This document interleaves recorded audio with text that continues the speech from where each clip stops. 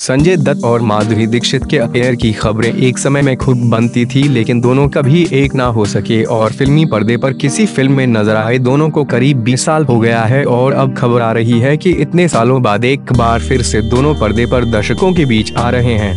दरअसल दोनों को लेकर जिस फ़िल्म की चर्चा चल रही है, उसमें पहले श्रीदेवी काम कर रही थी और उनके निधन के बाद माधुरी दीक्षित को ये फ़िल्म ऑफ़र की गई है। करण जौहर के दर्मा प्रोडक्शन की तरफ़ से फ़िल्म शिदत में श्रीदेवी की जगह माधुरी को लाने की तैयारी हो रही है और अगर माधुरी ने शिदत में काम करने के लिए हाँ कह दिया तो फिर 20 साल के बाद संजय दत्त के साथ उन्हें दोबारा देखा जा सकेगा। दरअसल फ़िल्म शिदत की स्टार कास्ट में आलिया भट्ट और वरुण धवन के अलावा संजू बाबा भी है।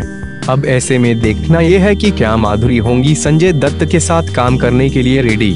संजय दत्त की ज़िंदगी में तमाम लड़कियाँ आई। संजय दत्त ने तीन बार शादी भी रचाई। संजय आज अपनी तीसरी वाइफ मान्यता के साथ खुश है, लेकिन आज भी उनके एक प्यार के अधूरे रह जाने का उन्हें मलाल है। कुछ दिन पहले संजय दत्त ने कहा था कि अगर बॉलीवुड की किसी हीरोइन से उन्हें शादी करनी होती तो वो माधुरी दीक्षित से करते।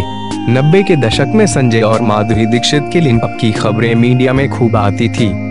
कहा गया कि फ़िल्म थानेदार के सेट पर शुरू हुई थी संजय और माधुरी की लव स्टोरी और फ़िल्म खलनायक के रिलीज़ होने से पहले ही खत्म हो गई ये कहानी उन्नीस सौ तिरानवे में मुंबई में धमाके हुए और संजय पर गैर कानूनी हथियार रखने का आरोप लगा।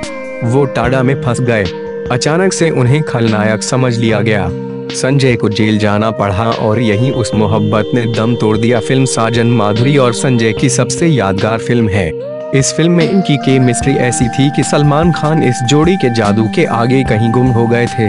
इस दौरान संजय और माधुरी का अफेयर काफ़ी चर्चित था और फ़िल्म के प्रमोशन में इनका जमकर इस्तेमाल किया गया था।